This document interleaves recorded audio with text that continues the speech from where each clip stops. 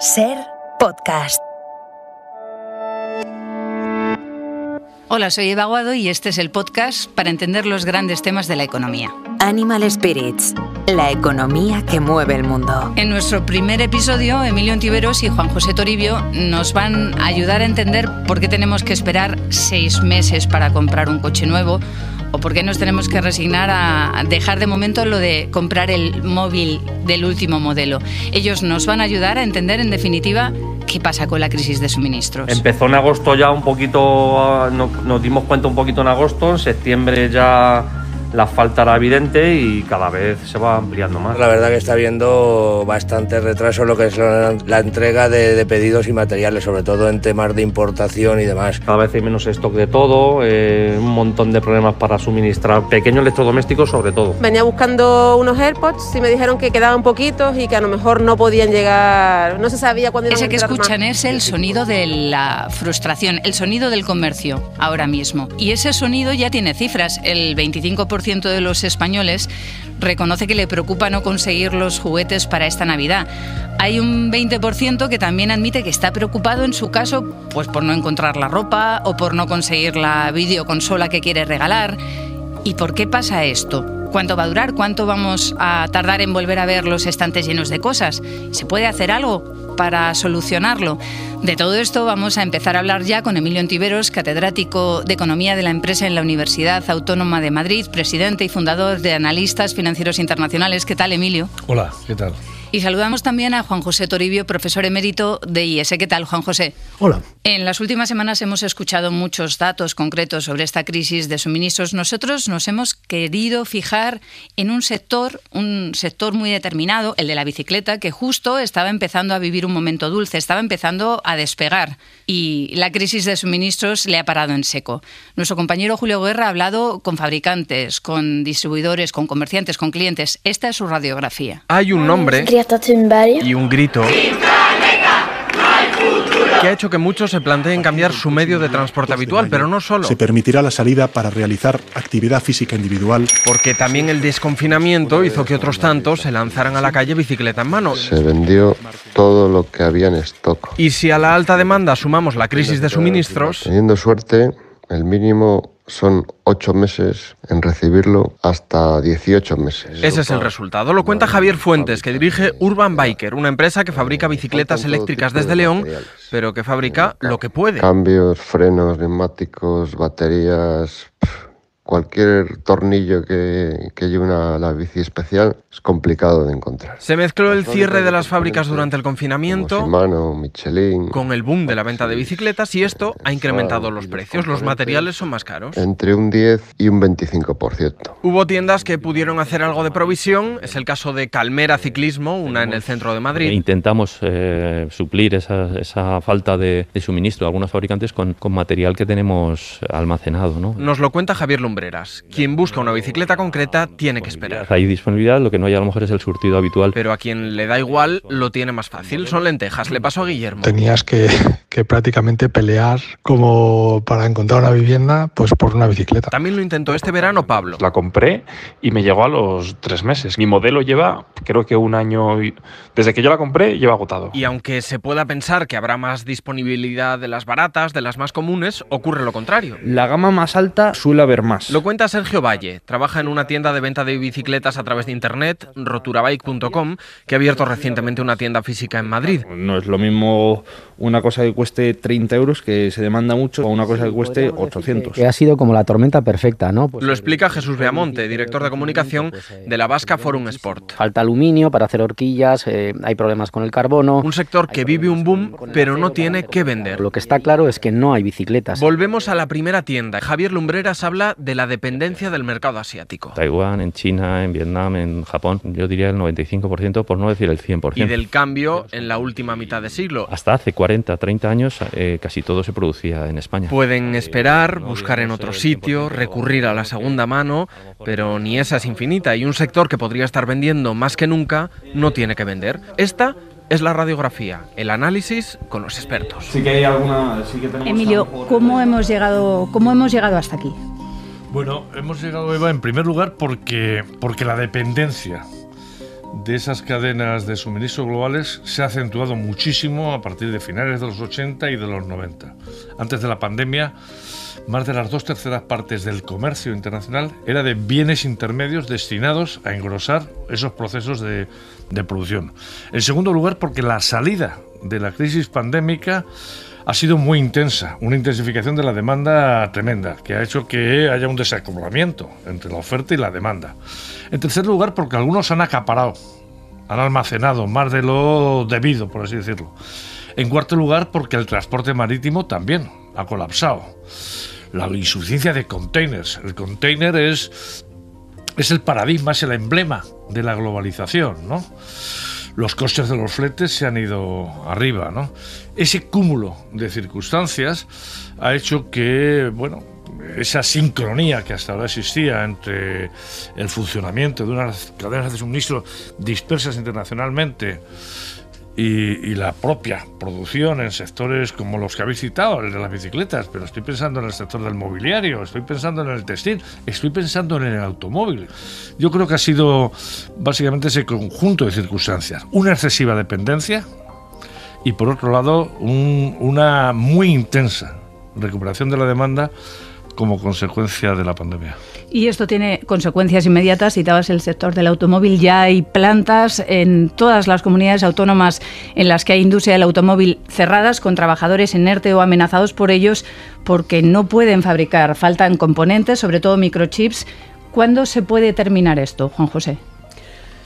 Pues yo creo que esto solo, se va a terminar eh, gradualmente porque, entre otras cosas, eh, hay que tener en cuenta que la, eh, crisis del, del, COVID ha sido no solo una crisis de demanda, ha sido también una crisis de oferta, y, eso ha hecho que se haya invertido muy poco, por ejemplo, en minería en, los últimos años. Eh, no se ha invertido prácticamente nada en, energía, por dos razones. Primero, porque el consumo de energía había caído. Segundo, porque la incertidumbre sobre cuáles son las fuentes de energía del futuro. Eh, y eso ha hecho que algunos mm, productos, como por ejemplo el aluminio, que hablábamos antes de bicicletas, el aluminio tiene un componente energético enorme. Eh, si no hay energía o la energía es carísima y por lo tanto es inviable su utilización, pues eh, evidentemente esto se, se, para. ¿no? Eh, eh, hay otras cosas, hay otros eh, factores que, ha mencionado Emilio, con los que yo estoy de acuerdo con todos, pero algunos de los que ha mencionado, como por ejemplo todos los que tienen que ver con logística, pues es verdad que hay un atasco en, los puertos, en algunos puertos, eh, ahí es verdad, es verdad, es verdad que hay una cierta falta de, containers, eh, etcétera, y, posiblemente esos problemas de logística sean más fáciles de resolver, o se irán resolviéndose por sí mismo, poco a poco. Eh, entre otras cosas, hay que pensar que una vez pasado el mes de enero, pues la demanda ya va a ser mucho menor, o sea que todo este problema de logística puede estar resuelto a partir de, creo yo, del mes de enero o febrero. yo dudo de que vayamos a tener tan fácil la solución de los otros problemas que son los problemas de la falta de inversión, eh, tanto en minerales como en energía. Lo, comentabas ahora mismo. Biden, por ejemplo, ha impuesto el trabajo a 24 horas en los puertos para agilizar los desembarcos. Es decir, la logística podría estar resuelta, pero los gobiernos deberían hacer algo, Juan José, para solucionar los problemas más a fondo. Algo que no están haciendo.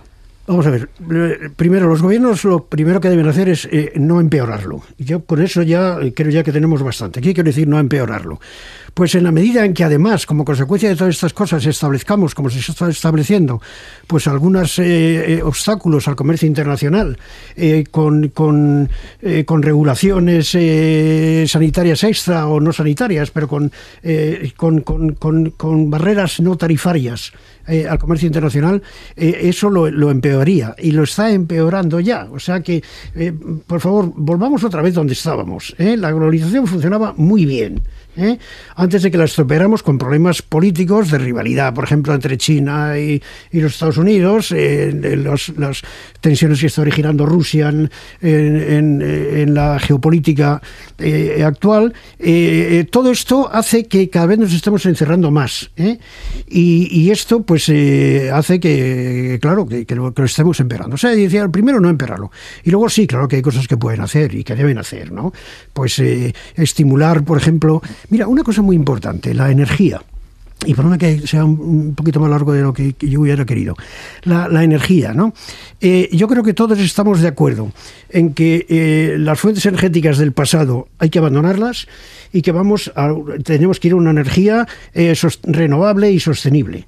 Lo que nadie parece haber hecho es un calendario concreto de qué plantas hay que abrir cuándo y qué plantas no se pueden cerrar hasta que no estén abiertas otras que las van a sustituir y así tenemos a los franceses pues diciendo que van a, en los momentos actuales a incrementar la energía nuclear, en cambio los alemanes pues habían cerrado todas las plantas nucleares, los chinos están reabriendo ahora plantas de carbón, nadie, nadie está poniendo orden en esto, con lo cual pues todo ese tema de, de, energía sí hay algo que los gobiernos podrían hacer ahí, ¿no? ¿Eh?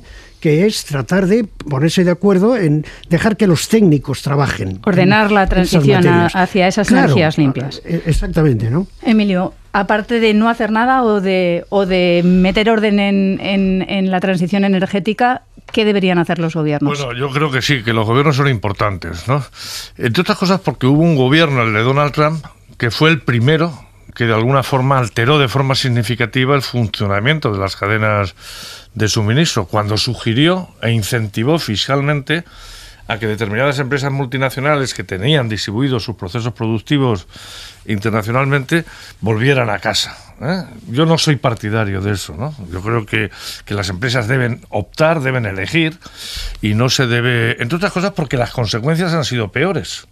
El resultado ha sido, lógicamente, no solo una dislocación de los procesos de producción, sino también una contracción del comercio internacional. Yo creo que la Organización Mundial de Comercio está para eso. ¿eh? Tenemos una institución.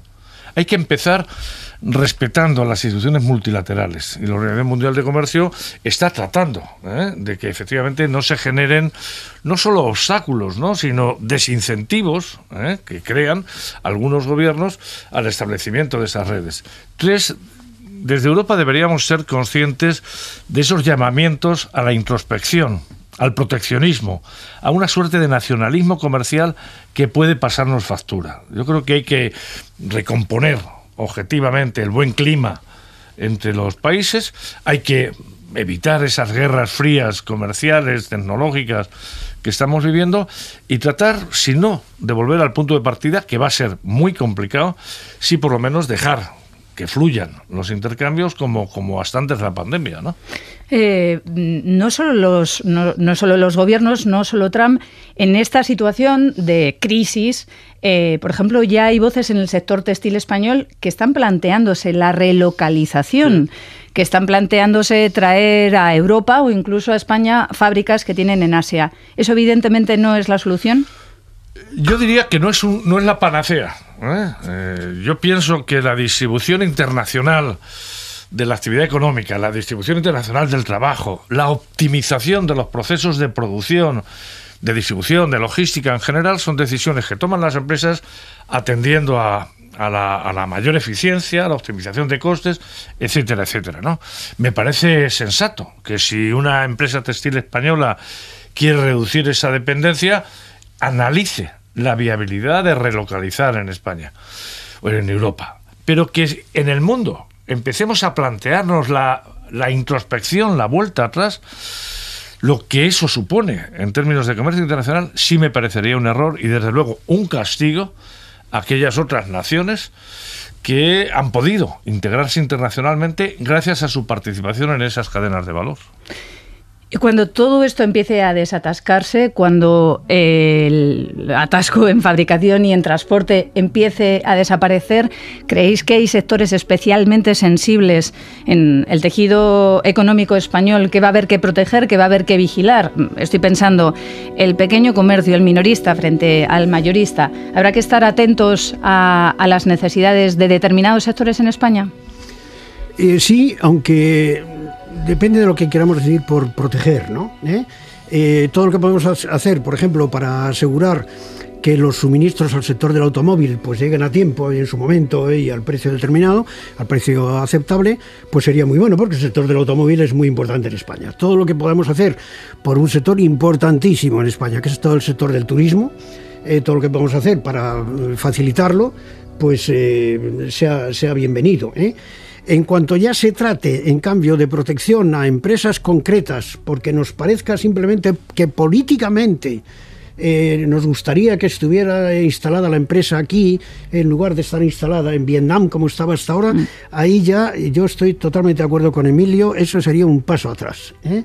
De manera que Sí me parece que los gobiernos tienen, eh, por supuesto, mm, cosas que hacer en, en este sentido, que es eh, facilitar el que las empresas eh, tengan un, contexto donde ellas mismas pueden decidir qué es lo rentable y qué es lo no, pasando por encima de las fronteras. Os quería, os quería plantear ya la mirada más a medio y largo plazo. A medio plazo es evidente que el Fondo Monetario Internacional, la Comisión, el Banco de España están diciendo que la economía española va a tener que pagar alguna factura por, entre otras cosas, la crisis de suministros, que, que la recuperación se está ralentizando. ¿Cómo creéis que, que efectivamente va a afectar una crisis como esta a nuestra recuperación económica que ya había empezado? Sí. Bueno, llevas razón, Eva, que, que ya está arañando posibilidades de crecimiento en, en todo el mundo, ¿no?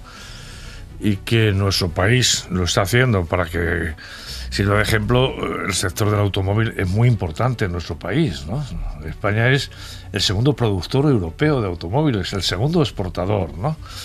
Sin menoscabo de otras circunstancias que sí pueden de alguna forma haber ralentizado en mayor medida la recuperación de nuestra economía frente a otras, ¿no? Pero la recuperación es un hecho. Es decir, los más pesimistas, entre comillas, los que más han revisado a la baja las posibilidades de crecimiento de nuestra economía este año, dicen que va a crecer el cuatro y medio. Yo la firmaría para lo que me queda de vida, ¿no? Y el año que viene puede crecer en torno al cinco y pico o al 6%. A mí me preocupa en la medida en que ralentice el crecimiento de nuestros clientes, porque una cuestión que, que siempre tenemos que tener en cuenta y que es un atributo de la economía española es que el 34% del PIB español son exportaciones. Es que el dinamismo de nuestras empresas es tan intenso que si le va bien a Francia, a Alemania, a Finlandia, a Austria, que es donde colocan el 60% de sus ventas al exterior, le irán bien a las empresas españolas. Pero es un hecho, es un hecho que esos problemas genéricos, cadenas, eh, transporte marítimo, acaparamiento, precios del gas, etcétera, etcétera, han ralentizado, han diferido las posibilidades de recuperación nuestras.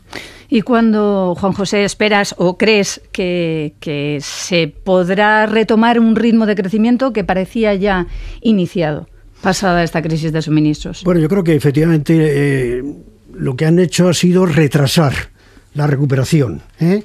más que impedirla o obstaculizarla seriamente. Yo creo que la han retrasado, de manera que estaba previsto que eh, en España eh, que era uno de los países que en este sentido, como, como, era el que más había sufrido, también el que tenía una recuperación más difícil, y se pensaba que hasta eh, finales de 2022 no íbamos a alcanzar el nivel de, PIB que teníamos en 2019, antes de la pandemia, pues a lo mejor no es finales de 2022, sino finales de 2023. Tampoco va a pasar nada por eso. Pero yo sí quisiera señalar aquí otro punto importante que quizás estamos dejando de lado, y es que toda esta eh, escasez de productos o estas dificultades de, de, de, suministros no solo afectan al crecimiento, están afectando también a la inflación, a los precios.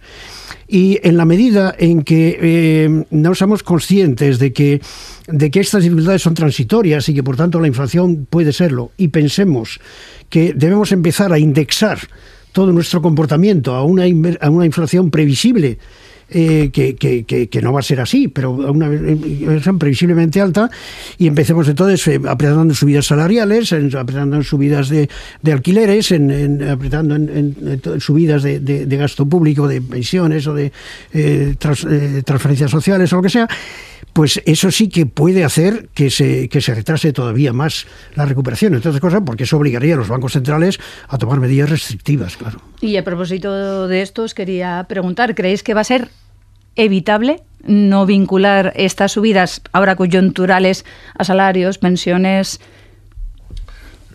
Hasta, hasta ahora está siendo evitable, ¿eh? porque estos repuntes inflacionistas, todo el mundo está o estamos de acuerdo, no tienen, no, no, pertenecen a la tipología de la inflación de los 70 o de los, o de los 80, ¿no? Y esos mecanismos de indiciación que con razón teme Juan José no están teniendo no están teniendo lugar ¿no? En, eh, sobre todo en, en, países donde los mercados de trabajo no tienen el grado digamos de restricción que pueden tener en países como restricciones de la oferta, me refiero, como tienen en Estados eh, Unidos. ¿no? El Banco Central Europeo nos ha dejado tranquilos a quienes nos fiamos de su staff y de su capacidad analítica, ¿no? Y nos dice, bueno, yo no voy a cambiar el tono de mi política monetaria. Las previsiones de inflación que siguen dando mis analistas sitúan el objetivo de medio plazo algo por debajo del, del 2%. Bueno, eh, yo creo que, además con un título como el que tiene este programa, las expectativas son muy, muy importantes. ¿no? He leído hace poco una encuesta también a grandes empresarios que no, no están planteándose ¿eh? trasladar a precios finales en, sectores de retail, por ejemplo, esas tensiones inflacionistas que estamos eh, viendo. ¿no? Yo confío que, podamos tener una transición en los próximos 18 o 20 meses a un entorno relativamente normal en precios. Bueno, pues iremos recogiendo datos en las próximas semanas seguro de esta crisis de suministros, de la futura recuperación y iremos trasladando preguntas a Emilio Ontiveros, a Juan José Toribio para que nos ayudéis a responderlas con, con claridad. Muchísimas gracias por estar aquí. Encantado. Muchas gracias.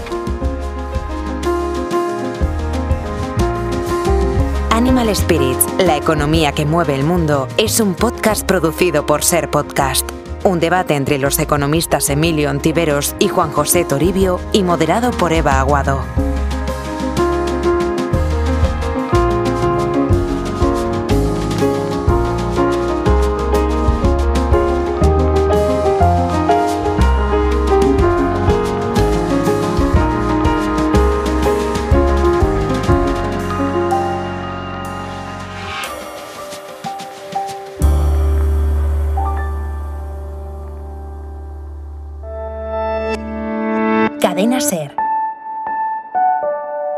Radio.